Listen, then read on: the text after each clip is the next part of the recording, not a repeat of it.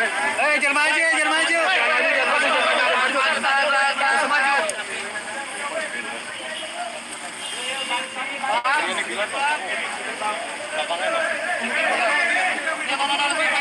Mun, mun, mundur, mun,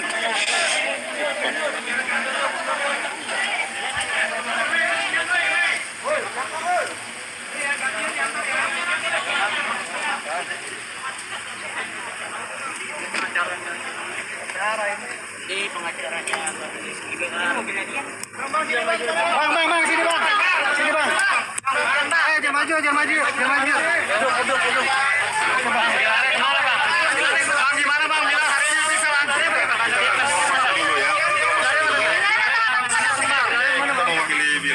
Karena beliau juga psikisnya dan beliau juga lagi manggil Ustadz dan beliau juga ada kesibukan memang tidak bisa dia datang kemari.